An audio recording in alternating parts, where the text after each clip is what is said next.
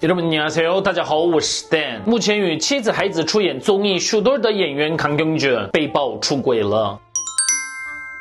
在上个月，康永俊被指控为布伦的第三者，并因此面临五千万韩元的损害赔偿诉讼。据了解，原告也就是康永俊出轨对象的丈夫，在诉状中声称康永俊介入了一个家庭，导致家庭破裂，并指出即使知道 A 某已婚，康永俊仍进行了不当行为。在这个争议刚爆发的时候，因为康永俊一直有着爱妻的形象，也因为李森运的事件刚发生不久，大多数的韩国网友们都表示要保持中立的态度。但是十二月八号，媒体公开了康永俊与女性 A 某的聊天记录，在聊天记录中可以看到 A 某说“我想你”时，康永俊回答“我想抱你”。康永俊也先传送了“我爱你”圈圈，我不想喝酒，只是想和你在一起，酒只是个借口。A 某则用害羞的表情符回应。当 A 某问康永俊你在做什么时，他回答在想你。在聊天记录曝光后，指责康永俊的声音变得非常激烈。但是目前也有媒体报道，无论康永俊的错误和责任如何，将这些极为私人的信息公开给大众是否恰当，仍值得深思。在公众审判中被判定有罪的话，无论法院的最终判决如何，这将成为当事人终生的污点，不可以再次重复以曾运的悲剧。我们来看一下韩国网友们的留言：家人都被媒体公开了，真的有希望这不是真的。听说大儿子那时短暂出现在电视上，就被学校里的孩子们认出了，他们一定会受很大的伤害的。疯了，双方的父母亲不也都公开了吗？父母、孩子、妻子养错一个儿子，他做出了婚外情行为，就这么塌了。哇，真是无法理解男人们。如果有人和我我的配偶，出轨却在电视上以爱妻者出现的话，我也会举报的。看了其他媒体们的报道，目前公开的康永俊和原告妻子之间的聊天记录只是极小部分，媒体们尽可能排除了可能引起刺激或不愉快的内容。你们已经忘了以曾女事件吗？聊天记录也能造假，在法院判断之前先站中立吧。然后就算是真的出轨，这又跟我们有什么关系呢？以爱妻者形象出现在电视上赚钱，这不就是对观众的欺骗行为？家人虽然可怜，但这不也是康永俊该承担的责任吗？我越来越怀疑。是否应该如此详细的报道明星的不伦或其他私生活，把 Kakao 和 Telegram 的内容详细的揭露给大众，把他们当成趣闻消费，感觉有点怪异。这是不伦受害者的家庭所希望的吗？我觉得他们可能会感到更加羞耻。